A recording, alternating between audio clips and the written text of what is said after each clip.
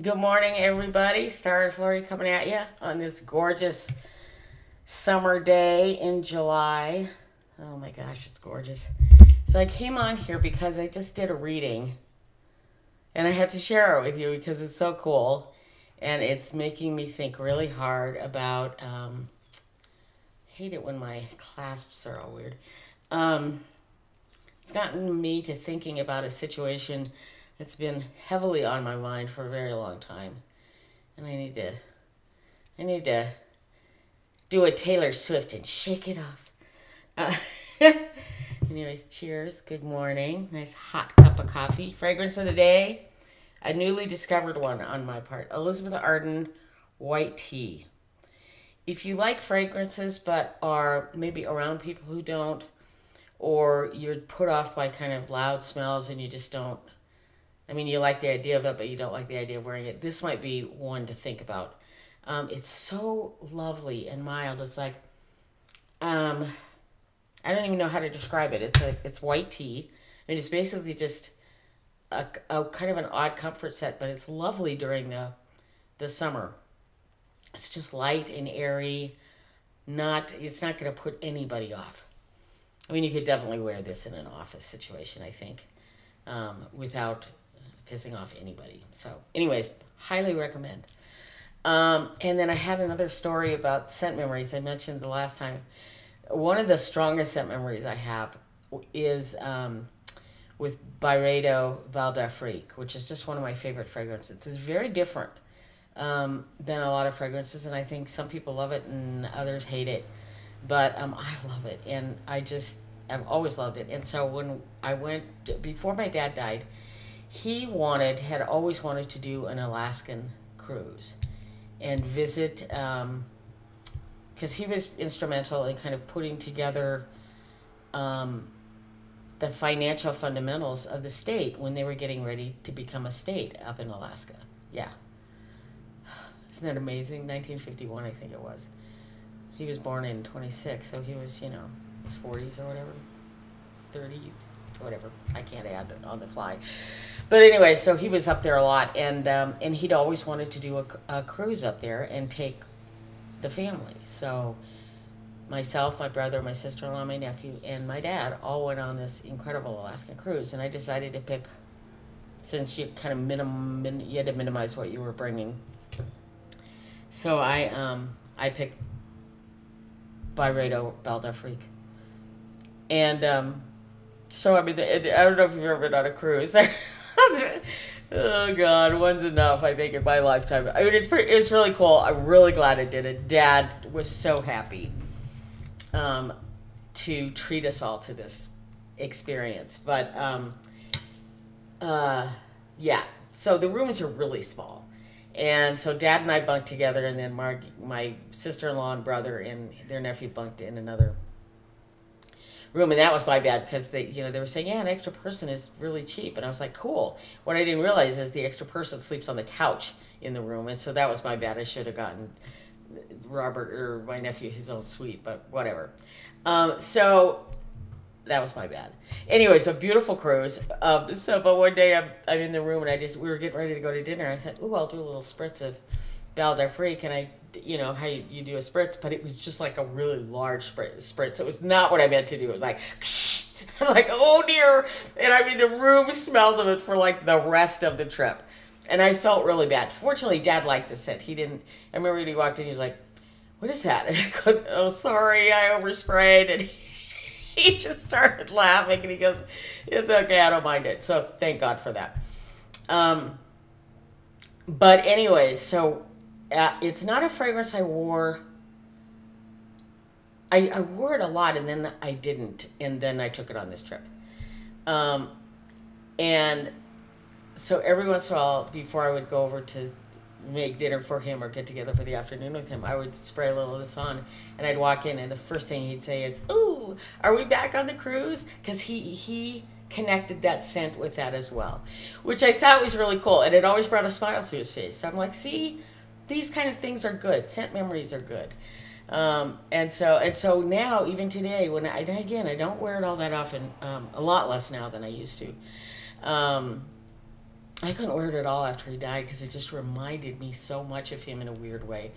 But now every time I spray it, I'm just transported into that cabin on that cruise and the sea rolling by and the glaciers and the just the whole trip just floods back. So um, it's a great experience. Anyways, so my reading today, I'm just going to bring the camera down so you can all see it. So these are the, I'm using the Uncertain Oracle, the Tarot of Mystical Forests, and the Sacred Destiny Oracle. So the first one is visit. I'll just show these to you. Visitation.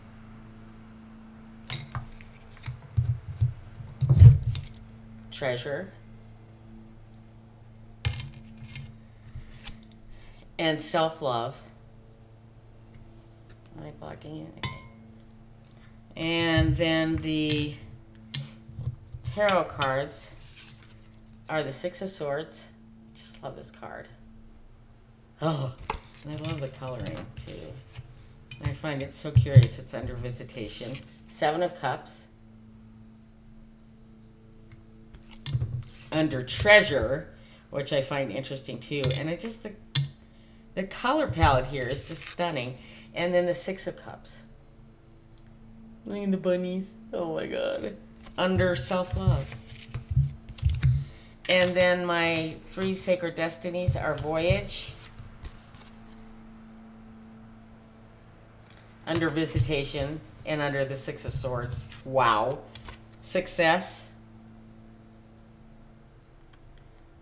under Treasure and the Seven of Cups, and Forgiveness. Under Self Love and the Six of Cups.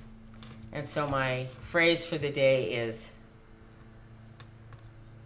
a successful voyage begins with forgiveness. And when I look at this,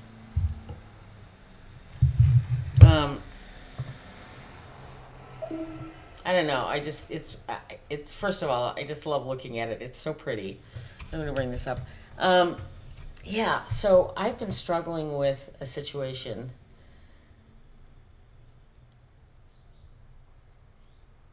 I'm really good at compartmentalizing my thoughts, um, which is a good and bad thing in many ways. Probably more bad than good because it's really easy to.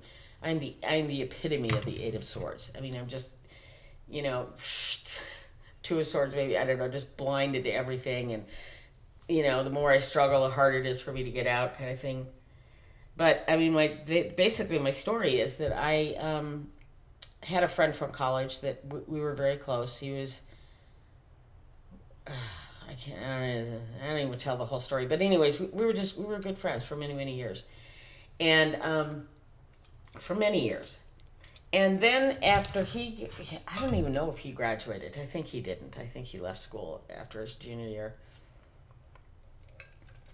But I graduated, and we stayed friends but every time you know it was just as i got older every time we got together um,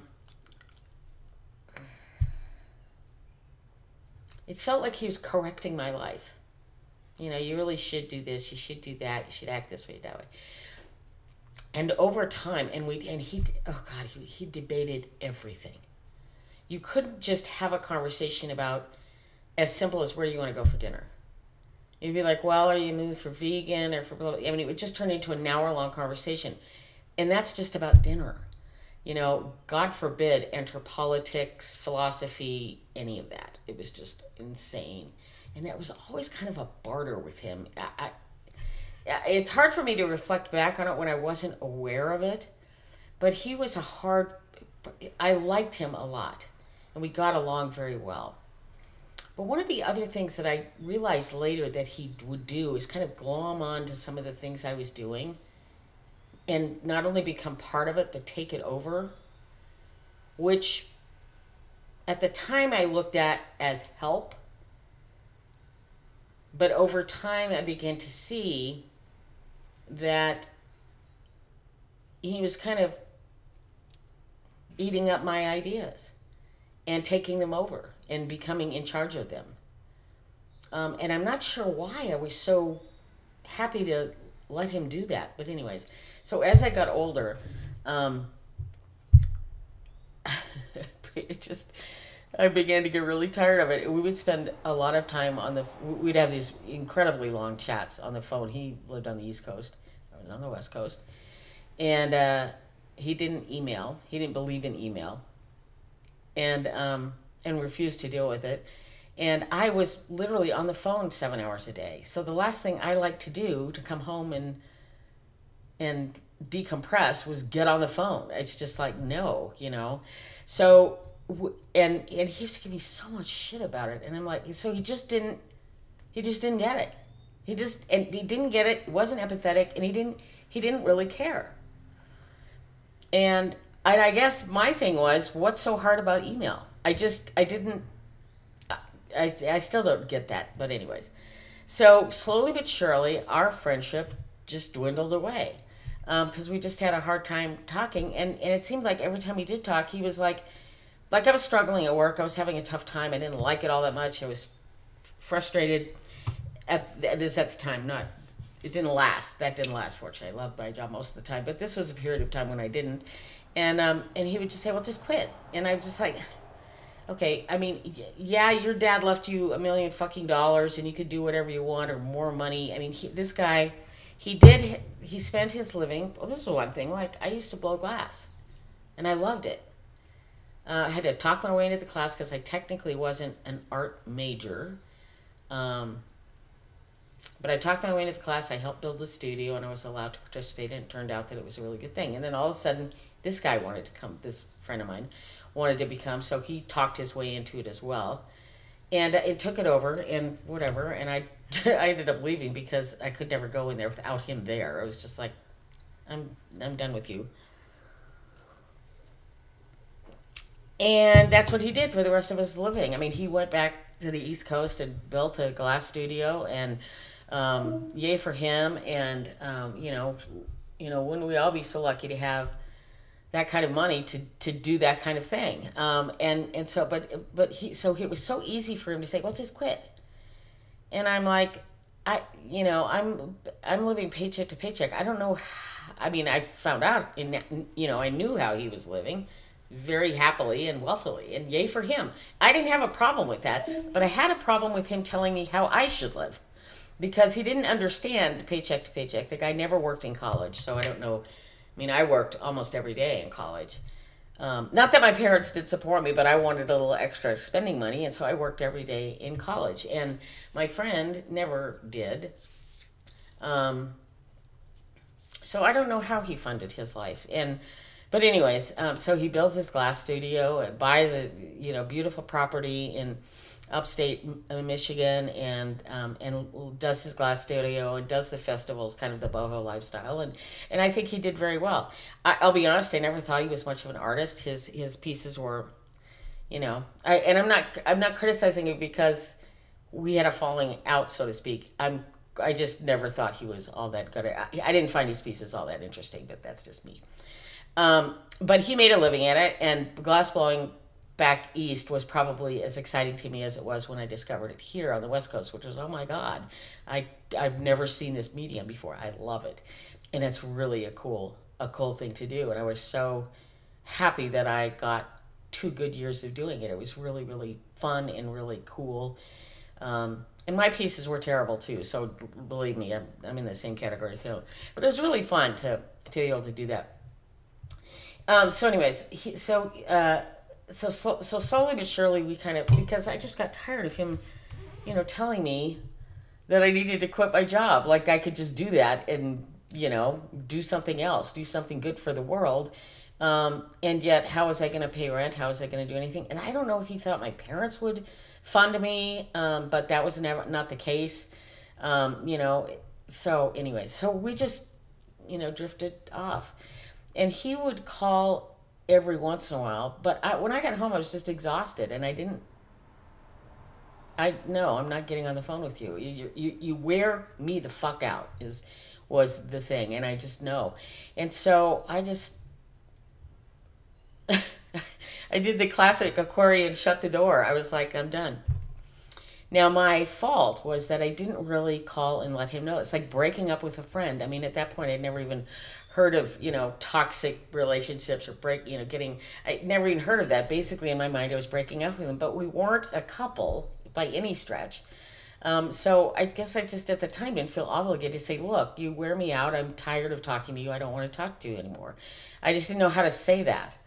Um, now, now I can, but uh, at the time, you know, I was in my what, mid twenties.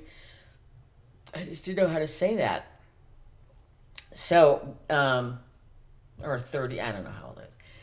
Anyway, so he just would keep after me with these phone calls every six months or so. What are you doing? And why won't you talk to me? And I was just like, well, not talking to you is kind of my answer in my head. I was just like, I'm, I'm done with you. And then at one point he called and he said, not that you will care, but, and then he uh, quote or talked to me about a professor that we both had in college. Another thing that he glommed onto in my life was a, a professor that I'd gotten to know quite well. And he was just a fascinating individual. And enter this guy, I'll call him Tom. Uh, enter Tom, and he, you know, suddenly becomes best friends with this guy and just rips him out of my life. And I'm like, well, whatever. Um, so he calls to tell me that his wife, that the, this professor's wife, is um, suffering from breast cancer, and you know. But he starts out the conversation, not that you care, but um, I thought you should know this, and I'm just like, okay, first of all, it, we've been out of college for how long? Thirty years, twenty years. Um, I didn't know her at all. He did. He knew her very well. I didn't know her at all. I knew her name, um, and I and I knew the professor. But to start the conversation with, "I know you don't care, but," or or not that you care, but I'm telling you this, and I was like, "Of course I care. I I, I would care about anybody I heard that information about." And so, and why would you start a conversation like that with that kind of news? So that just pissed me off even more. I was like, "Okay, I made the right decision." So then, um, and so then, I move, and didn't leave. He had my phone number, but he didn't have my new address or anything like that. And all of a sudden, I get a fucking letter from him, and I'm like, oh. And I remember when it came to me, I said, oh dear God, let it the frick go. I haven't talked to you in 12 years, more than that, maybe. Stop it. I mean, that's what I wanted to say to him. So, anyways, you know, and he just kind of writes this letter. I don't understand, blah, blah, blah, blah, blah. And I was like, fine. And so now, and then something else that weighed on me as well is back in college, we attended a really interesting conference at Harvard, which is very prestigious, very cool. We got a little bit of a stipend from our college to go, but um, I needed help from my parents to be able to pay for hotel and that kind of stuff and plane fare. I think no, I think the school bought the plane fare, but we needed to, accommodations. And somewhere along the way, I just ran out of money, and uh, so I borrowed two hundred dollars from this guy, from Tom. And since I was always broke, I mean, I was just paycheck to paycheck to paycheck my whole life. I I never got around to paying him back. And at one of our lowest moments, he was the one who brought it up. You know, said, you know, by the way, you never did pay this. This is after a discussion about how I'm living paycheck to paycheck.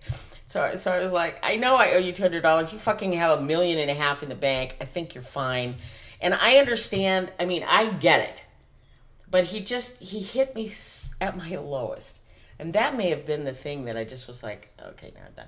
So, times have changed. You know, I spent a, I lived. I had my. Oop! I knocked the card down. Hold on. Um, and so I um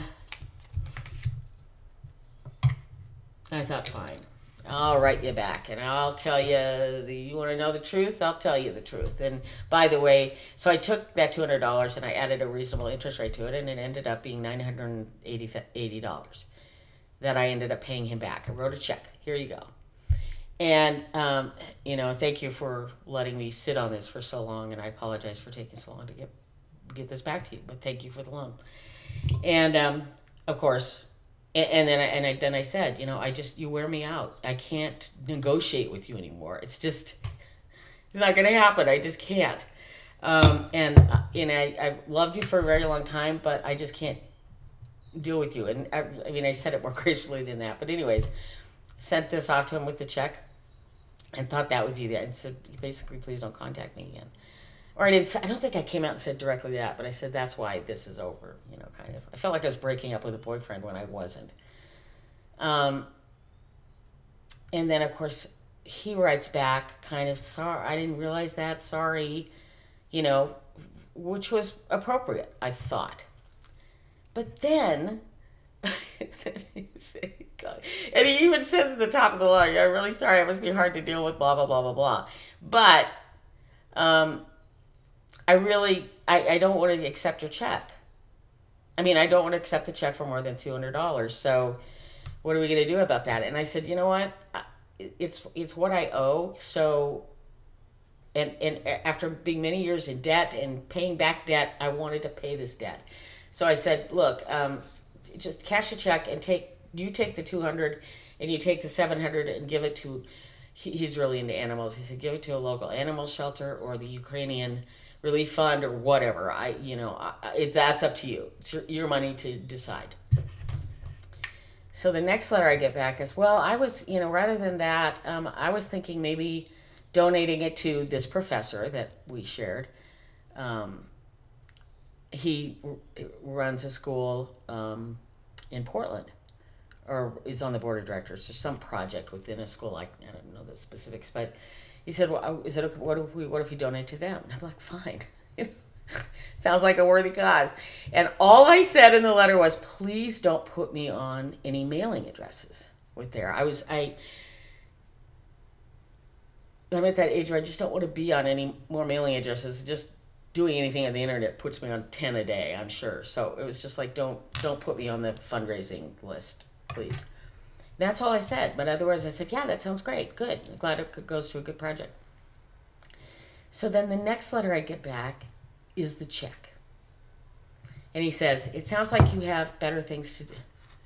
And it was like i think somewhere in the letter i was like yeah don't put me on any mailing list. I'm i'm currently um, in a big uh, fundraise fund funding project with Portland State University and then something else, and I just don't want to be on any other lists. And uh, and so he goes, it sounds like you have other interests uh, for your money, so here's your check back. And I'm like, and here we go again. The fucking negotiation begins. Well, it began three letters ago, but here it is again. And I'm like, you know what? No, we're not. Uh uh-uh. uh. Not doing that. So I went to the bank. I got two hundred dollars in cash stuck it in an envelope, and I wrote a check for a thousand dollars to this project of of our professors, and got that done. And then I wrote my friend back and I said, since you didn't, I have. I've donated the money to this project. Here's your $200 in cash.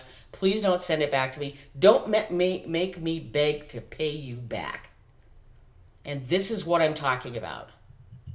Oh, one of the things he said in that letter was, I think maybe, uh, I think maybe you don't understand what your real interests are, uh, desires are. So that's why I'm to send the money back because I don't think you're really interested in this project. And I'm like, who the fuck are you to tell me? I agreed to it. I felt it was in my head, it was more your decision than mine, and I'm fine with it.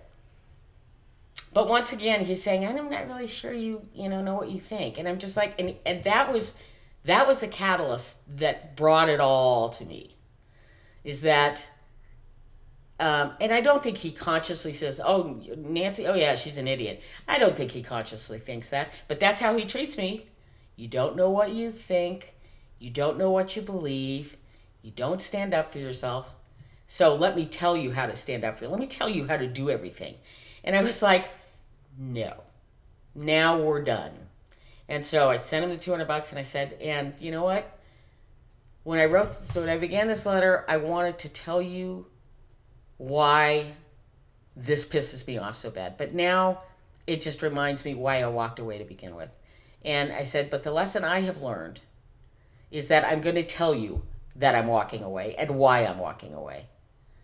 Um, because clearly this is just you everything I said in that letter, I you know I, I didn't think I was going to change him, but I just expected him to be more mindful of it. No. Same habits, same shit, and I was so it came back so fast in my head that I was just like, I'm done. So I did that, sent the letter off, and I haven't heard from him since. So, good. And yet, in my head, he's gotten the last word because, you know, I guess in my head, I expected him to write a, I'm sorry, have a great life, you know, something ending. But no, nothing. And I remember getting a reading shortly after that where somebody said to me, whatever's going on here, they they are not going to respond to you, and that's their way of strong arming you. That, that that they know that that's leaving this hanging, and that's exactly how they want it. I was like, okay, fine, whatever. But it's stuck in my head like the eight of fucking swords. It's just in there, just looping. You know, who's the asshole in this? Now now I feel like I'm the asshole. And I'm like, but I'm not. I am not. Anyway, so it's been looping in my head forever. And slowly but surely over time, I've been thinking, I just need to fucking forgive him for being the person that just doesn't get it with me. I need to forgive him for that because I was just so pissed at him. I've been pissed at him for eight months, maybe even longer. And it's like and so i've been toying with that idea and i am just i in many ways i'm a lot like my dad in that regard. It's like you could never really talk him into anything. You had to introduce the idea you know and then let him mull it around for a while introduce it again let him mull it around a little bit longer and eventually he might come up with it on his own. And i and now i'm doing that to myself. It's like so you know you need to you need to you need to you need to just forgive him and walk away and so the question in my head is do I need to write him a note saying that? And I don't think I do. We're done. Um, uh, I, I just don't think I do. You know, I'm, I'm, I'm over it. But so the voyage, the successful voyage for the rest of my life begins with forgiveness. And I think that's the realization I've come to. These things are hard. These things are really hard and I don't I don't like I'm not good at ending relationships because it's generally not and this is the deal I guess maybe I'm talking off the top of my head here so um but maybe that's the hard part is that um you, that most of the people that boyfriends for instance that i broke up with i still really liked we had you know i never fought with somebody so hard that i left or was left you know, it was always just a kind of a, a wandering off, a, a going different directions, whatever. Um, and the hard part was finally kind of saying that to each other. Do it, you know, kind of like I think I told that story while back. It's like, are we done? um, yeah, but when it's a friend, and always has been a friend, and you feel that over time when you were younger you were really taken advantage of over and over and over again. And then tr- and treated i said this to him you, you always treat me as if i'm lesser than. I'm not as evolved as you. You know? Um, and that he, he, he would do it in the most minute and piercing ways almost you know almost like a just a pinprick that you didn't know you know you kind of flinch what was that and then you move on. But there was a point at which there were so many of them that I was just, I'm done. And that, and I think that's what's made it so hard to forgive is that I'm pissed. I'm pissed that I gave him as much time as I did. I'm pissed that he took so much of me. So I'm pissed. So I guess the ant. well, I mean, th- th- this is telling me to move forward with forgiveness. But in my head, you know, I mean, do you have to? Is that required? You know, I always hear, you know, the only way to move forward is forgiveness. I'm like, is that true? Is that really true? I don't know. You know, I'm not convinced it is. I mean, I know this is, you know, I'm, there are people that have many deeper angers and frustrations and reasons to be to be really mad at somebody and be in a situation of forgiving or not forgiving. And mine is a very mild case. I mean, it was just a friend. but it weighs on me. It weighs on me heavily, and it's again, as I said, it's still looping in my head after all this time, and I feel like I need, I need some kind of closure, but I'm not sure what that closure is. I mean, I don't think I could just say, "Okay, I forgive you," and then everything's fine. I, do, I, I don't, I don't feel that that's the, you know. But maybe forgiveness isn't something you can just say and have happen. Maybe it is kind of the process I'm going through now, where it's just letting it you know, mull in there and and the longer it goes, the less angry you are. I mean, is that part of it? You know, are you willing to open up that forgiveness door just a slightly little bit? And your mind, you know, slowly but surely starts to open that door wider and wider and wider. You know, to the point that someday you'll just you'll not even think about it. I'm kind of hoping that's that's the direction I'm headed. So that's Nancy's story on forgiveness and what do you do? But anyway, so I'm just going to show this one more time. This gorgeous spread. Visitation, treasure, self-love, Six of Swords, going from craziness to calmer waters, a voyage.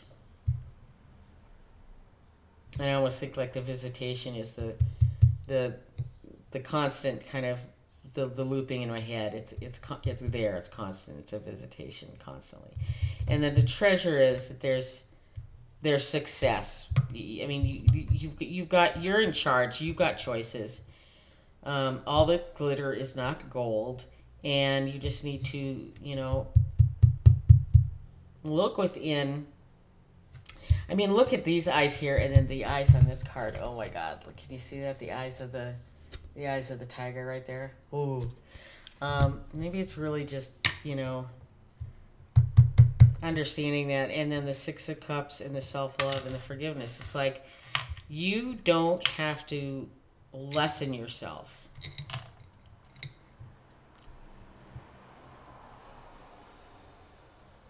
By embracing forgiveness. Forgiveness is not what's the word I'm looking for? Is not letting them off the hook. Is that the word I'm looking for?